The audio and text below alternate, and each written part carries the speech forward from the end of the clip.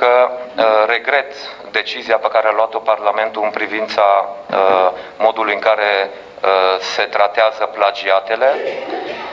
Știți că am luat niște măsuri prin ordonanță de urgență în urmă cu ceva vreme, tocmai pentru a crea un cadru clar, profesional, obiectiv de tratare a acestor cazuri de plagiat. Sigur, nimeni nu contestă și nici eu nu contest nevoia, importanța, utilitatea implicării directe a universităților în tratarea acestor cazuri de uh, plagiat. Dar uh, avem nevoie, dincolo de implicarea universităților, avem nevoie și un, de un cadru de recurs a deciziilor universităților și la nivel uh, național, tocmai pentru a obiectiva acest uh, uh proces de decizie vis-a-vis -vis de uh, plagiate.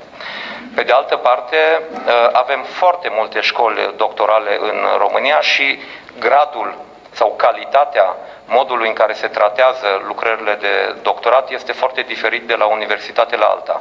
Tocmai de asta Ministerul uh, Educației are în curs o reacreditare a uh, școlilor uh, doctorale în România, tocmai pentru a ne asigura că toate universitățile care au școli doctorale pot să asigure același standard minim de calitate a elaborării și